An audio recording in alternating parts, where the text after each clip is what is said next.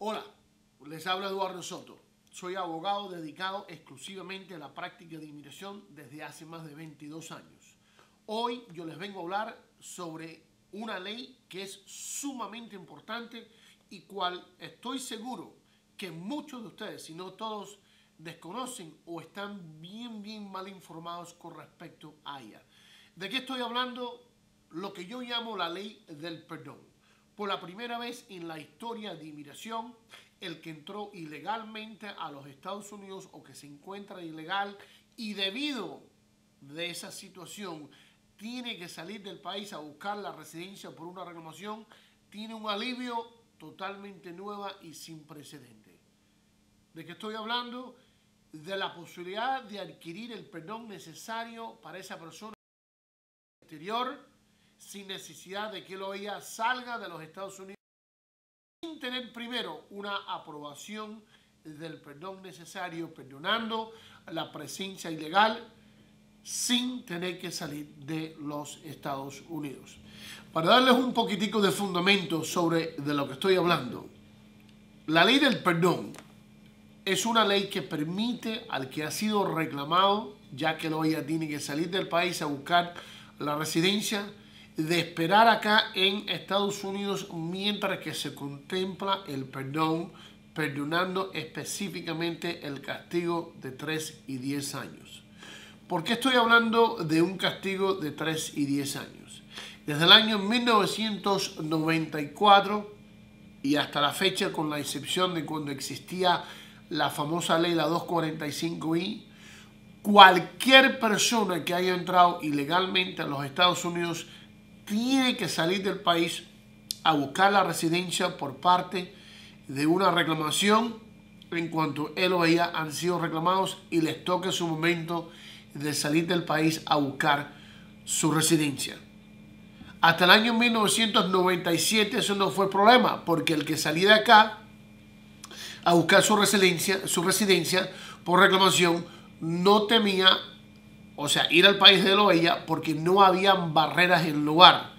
Pero en el año 1994 el Congreso sacó una ley que dice que a partir del 1 de abril de 1997, cualquier persona que ha estado ilegal en los Estados Unidos por más de un año, a partir de esa fecha, obviamente el 1 de abril del año 1998, cuando sale, enfrenta antes de que lo ya vuelve un castigo, una barrera de 10 años. Para el que está ilegal, más de 6 meses, pero no llega el año, el castigo es de 3 años. Estos castigos han estado en lugar desde hace ya 15 años. Ha existido un perdón, perdonando totalmente esa presencia ilegal y permitiendo que la persona vuelve a los Estados Unidos.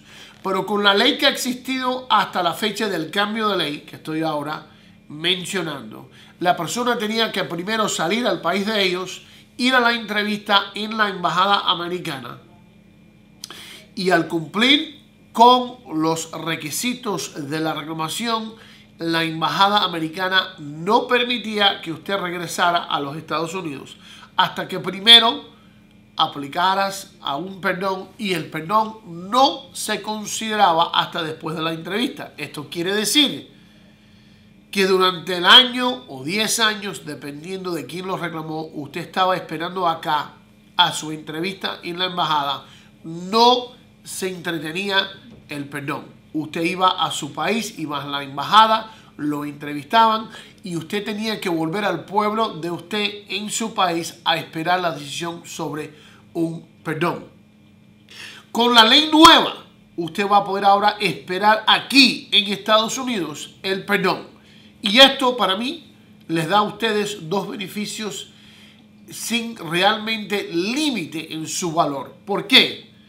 Porque en vez de tener que esperar en ese pueblo que yo les dije que ustedes tenían que ir de donde son ustedes en su país y esperar posiblemente uno, dos o tres años para que simplemente le digan que pueden volver. Ahora usted va a poder esperar aquí y no se tiene que ir hasta que primero es aprobado el perdón. Obviamente, si usted es esposo o padre de niños pequeños, al salir de acá y tener que esperar dos y tres años, es algo, o sea, inaceptable, no algo que nadie puede realmente aguantar. Imagínese usted, si usted es esposo o padre, eh, tiene que salir al país suyo y estar dos y tres años allá. Con esta ley nueva, usted va de nuevo poder esperar acá y no se tiene que ir hasta que es aprobado el perdón. Pero hay algo aún más importante, mi opinión, que nos trae esta ley nueva. Esta ley nueva va a permitir que usted se va de acá con el perdón preaprobada en su bolsillo antes de que se va. Y si no es aprobada, usted no tiene que ir al país suyo a buscar la residencia. ¿Escucharon eso bien? No se tienen que ir al ser aprobado la reclamación y al tocarles ustedes por categoría su turno en su país. Con la ley nueva, si no es aprobada el perdón, usted escoge irse a su país o no irse a su país. Obviamente, usted irá solamente y en cuando es aprobado el perdón.